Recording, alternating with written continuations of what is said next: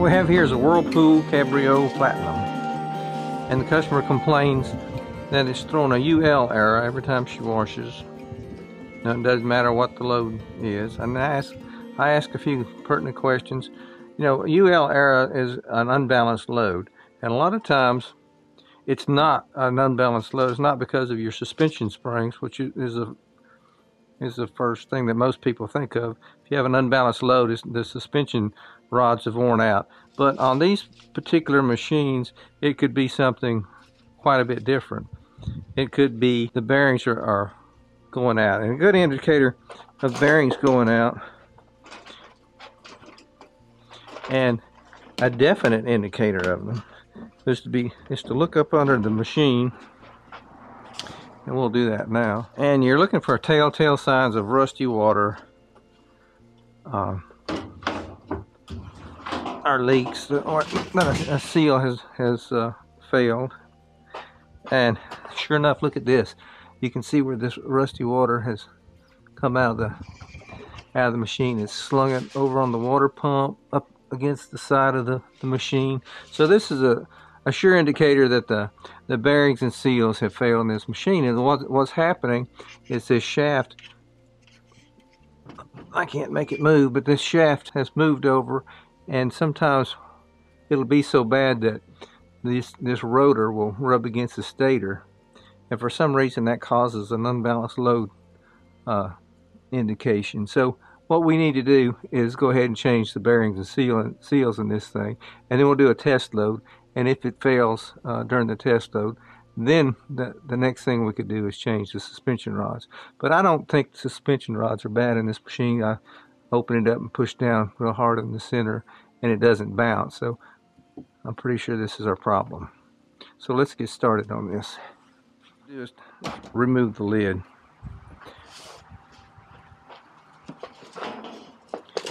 So what you want to do is remove this cover here. And we're going to have to remove this console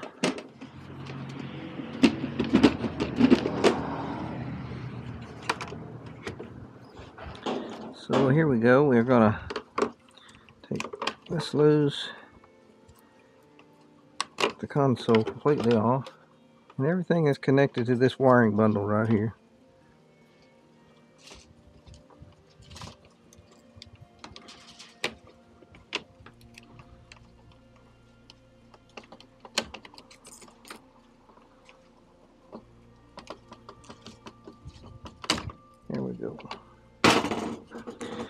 You want to disconnect this one.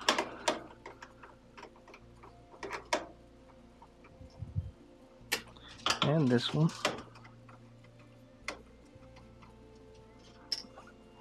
Uh, he goes forward. Up. Be sure now you got this piece, this piece, and you want to hang on to that lid because it's spring loaded and you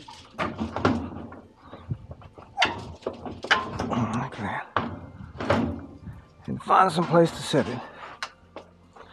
Alright, now we need to remove this ring. And we'll clean all this up as we reassemble it. What it is, you just kind of have some little clips here that, that fit over plastic tabs and just pull these tabs loose. It lifts right on off. This hose needs to be disconnected.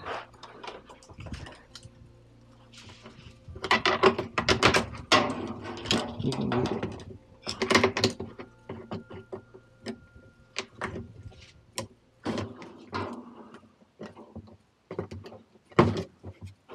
There we go. There. We'll set that aside. Driver should go in. There it is. Now, 7 16 inch, inch socket on an extension.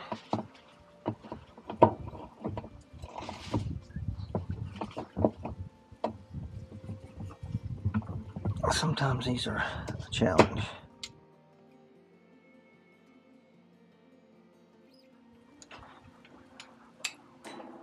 Now let's see if this will lift out. Oh yeah, good deal. now we'll need to disconnect our tub hub down here.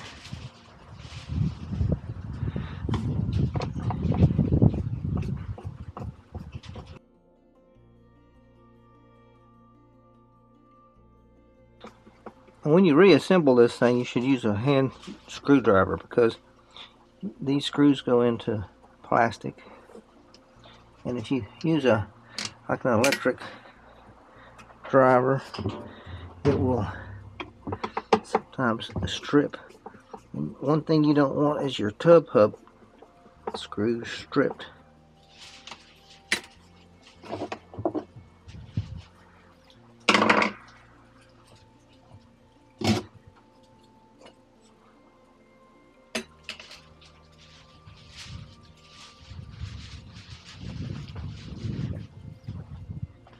Now you need to pull this tub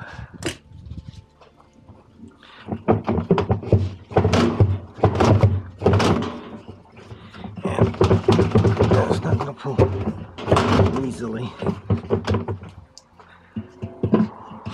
So for tubs that don't pull easily, we have a trick. We use one of these old jacks. And what we're going to do is we'll put it centered it on there. Take a board that we've got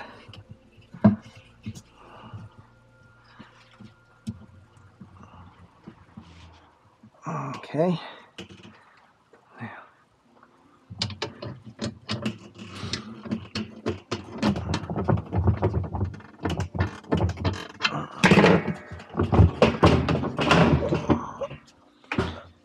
Alright, next step is to attack this problem from the bottom. Way to take these rotors off, have these holes here, and you can find a right there.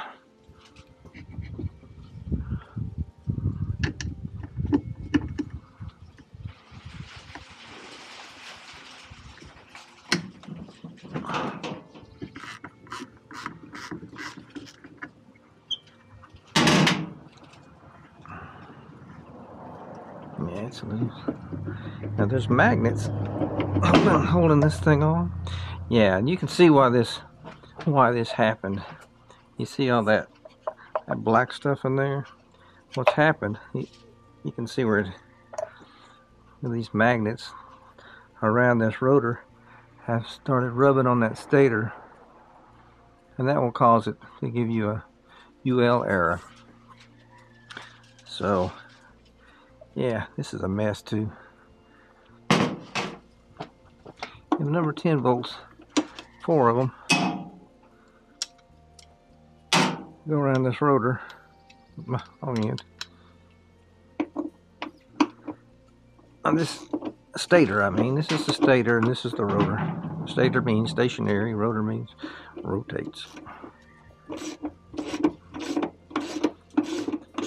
Yeah, all that black stuff is metal shavings and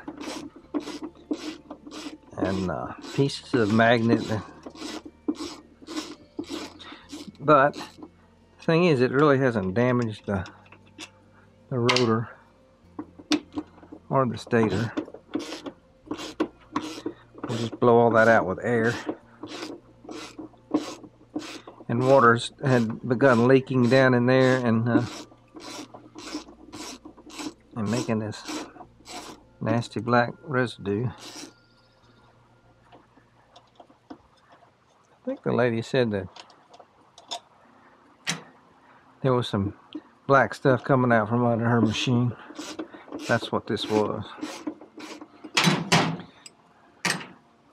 Alright, now there's a metal clip on the back side too. And you gotta be careful with this, you don't want to, to break any of these wires on here. There's a clip that fits right here. And this I have to set this down right here and get a screwdriver. Here's one. There's the other. Just gonna lay this in here. Put that. Put all this aside.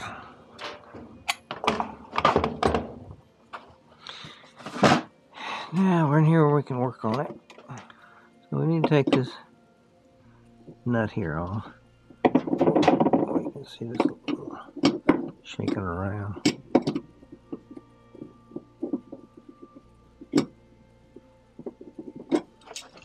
You don't have to worry about protecting the splines on the shaft because you're going to change the shaft.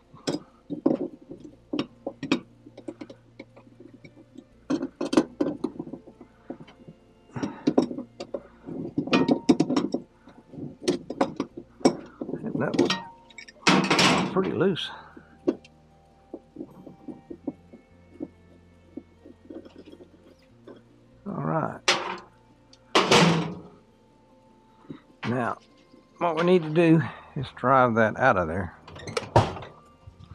And the way you do that is you hit it with a hammer. And it's going to knock the seal. It will knock that seal and that bearing out. So, there it went. And you see, seal and bearing. Now, using this, you can go in there, you put it against the edge of that other bearing.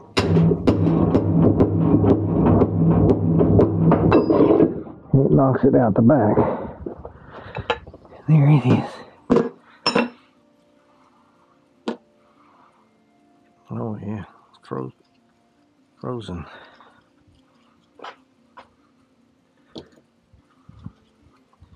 And I can't go through a day without getting dirty. Usually it's not this bad.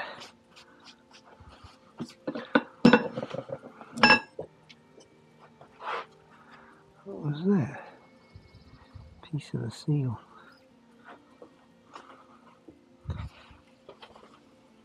That other bearing didn't come out.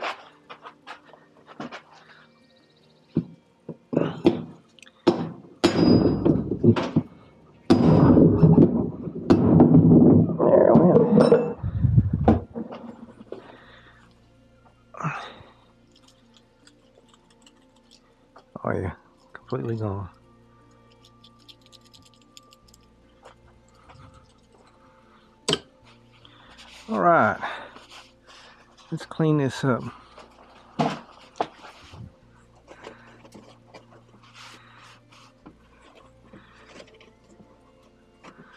I'm gonna do this and then I'm gonna clean my hands up. I hate to have dirty hands if customer comes up.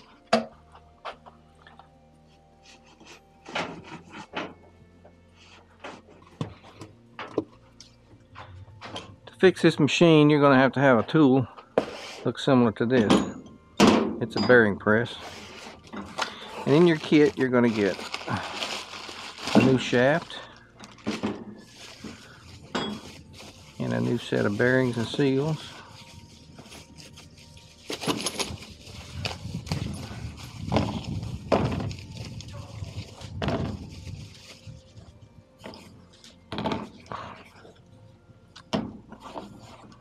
Washer, a nut.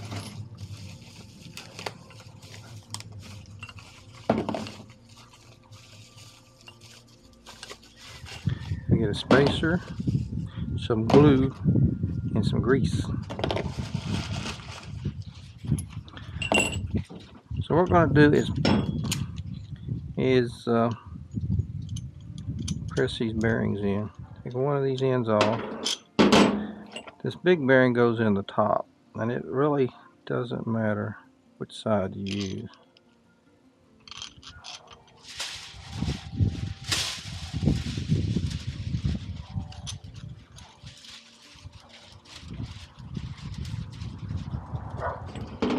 And this. You'll screw that shaft down to about even and put those nuts together. And now you have your bearing here. That's your top bearing.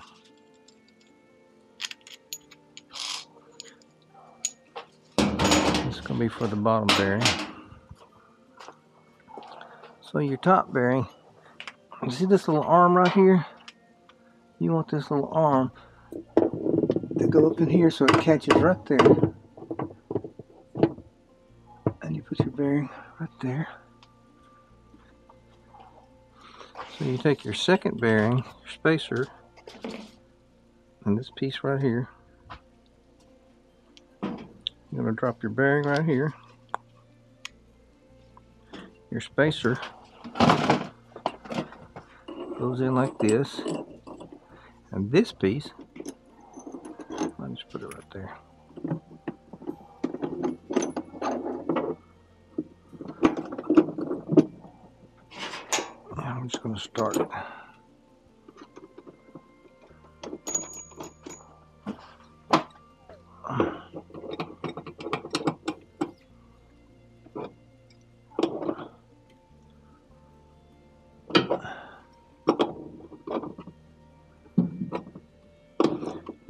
As you, tighten this, you can feel them falling into place. But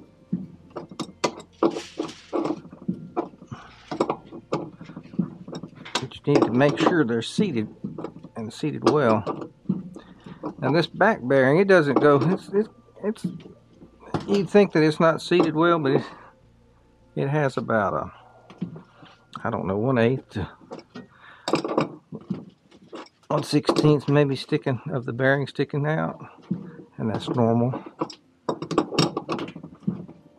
And you want to tighten just as tight as you can go without hammering on it. Now that should be seated. So you want to back off your puller. I mean your your press.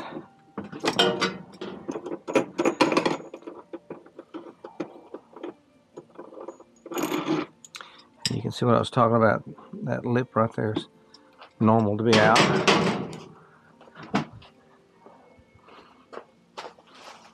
And you pull your press out and you can see it push the bearing in. And it's sealed. And that should be loose in there. So you're through with your bearing press. You can put it away. Now,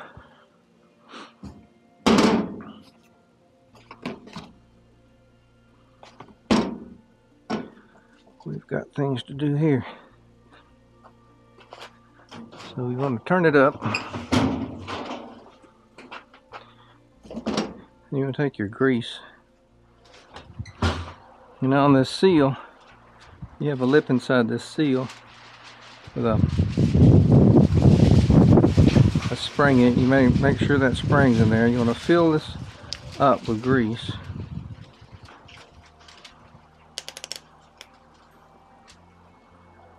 As much as you can get in there.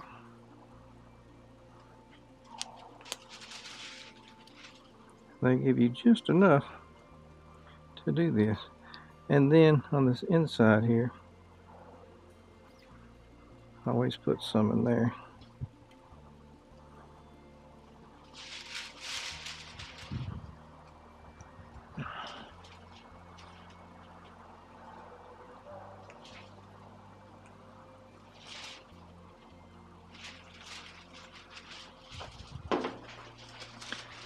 Now you don't want to get it on the outside edge of the of the seal because you're going to put a sealer in there.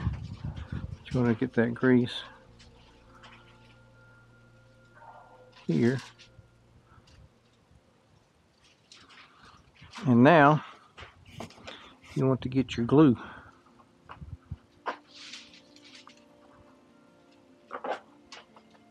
And this cap's got a little point on the other end and you put it like that. And you want to put this glue on the outside. You don't need a whole lot.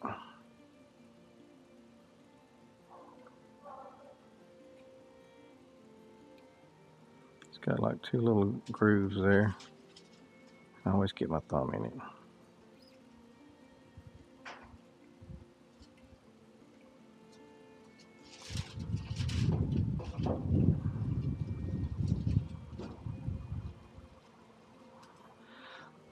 this goes in here first like this. And then this goes on top like this.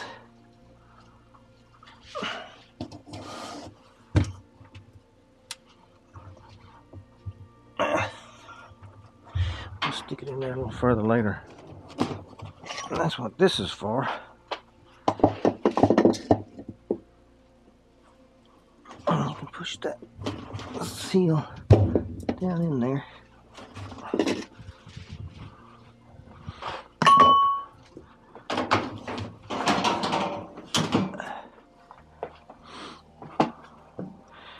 Flat side and a round side, round side out.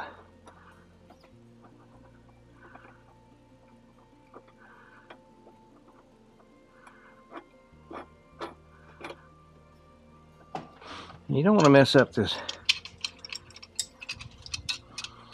splines on here. So what I do, I put a rag on it.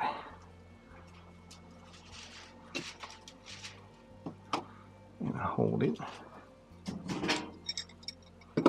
as I tighten this nut.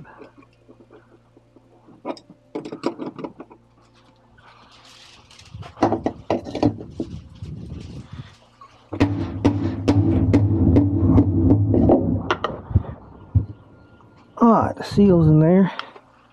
And where's the rest of the glue? Alright, you can take this glue you want to go around the edge of that.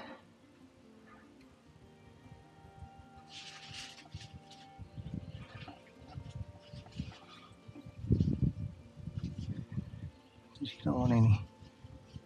And it'll just kind of drop into place.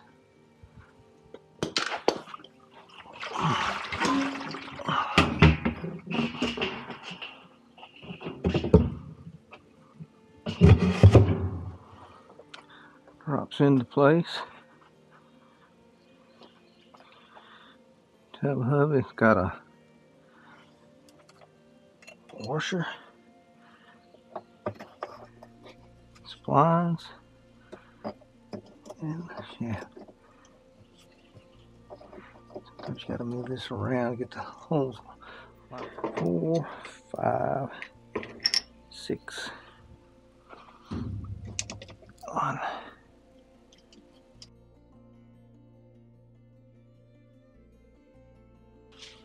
Okay.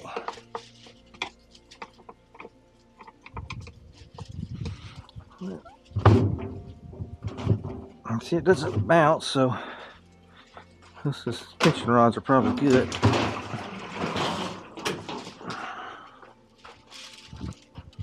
Clean these up a bit.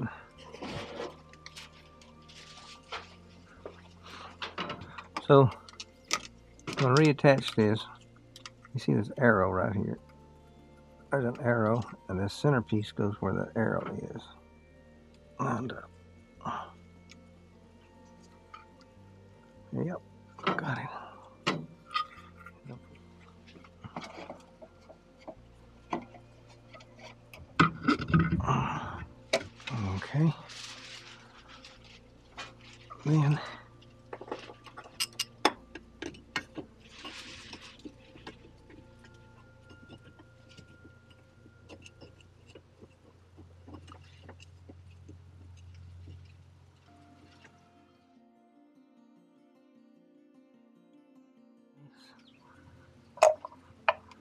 these magnets will pinch you, so be careful with them.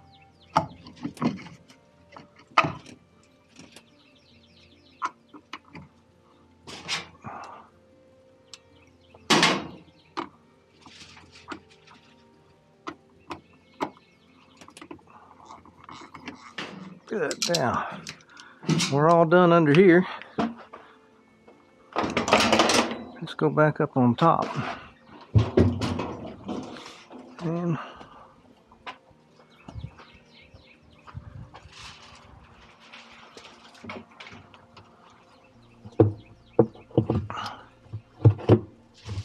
arse plate back in. Hey Roper, what you doing, buddy?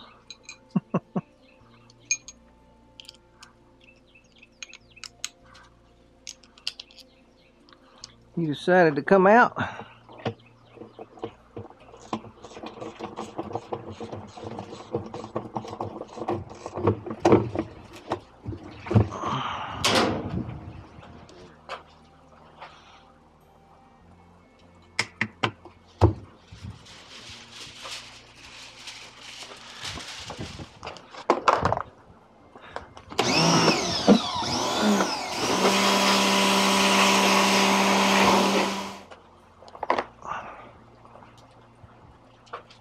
Now reassemble this, to make sure that your drain hose pipe goes in the right spot.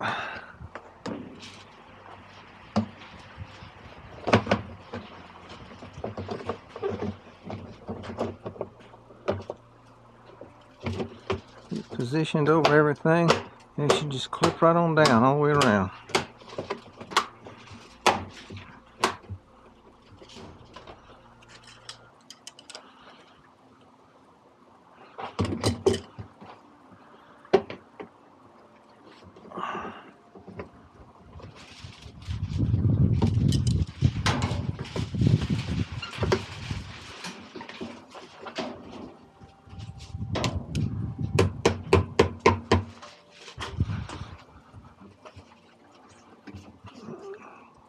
Pretty good. Now, you got dirty fingers when you're putting this back together. Get parts dirty.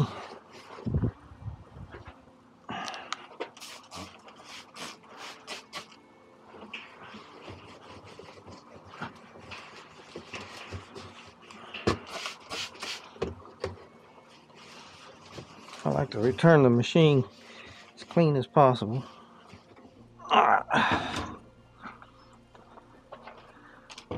Cord's out of the way. Let's raise our lid up. Here we have these two slots.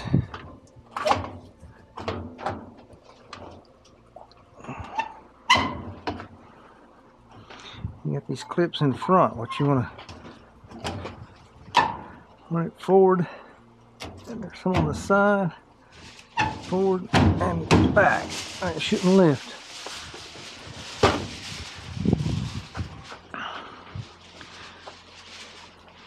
Now you want to reconnect all your wiring, pressure hose.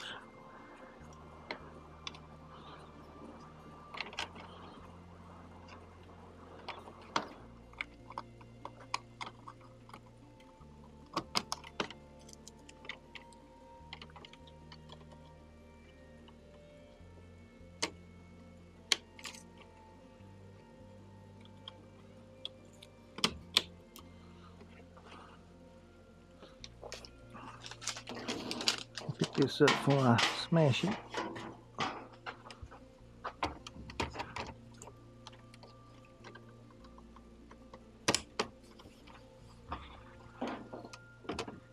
Find that up with those.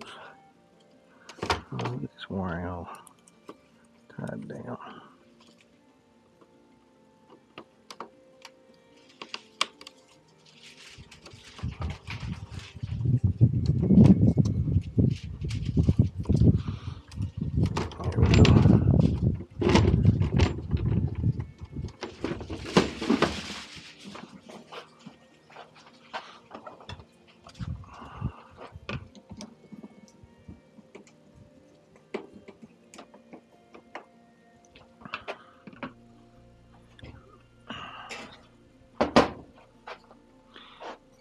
Cover back on.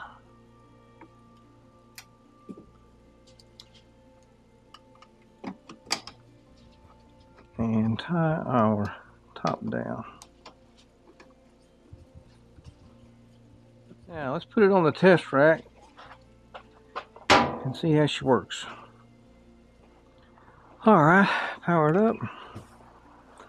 We've got a load of towels in there. Let's start it.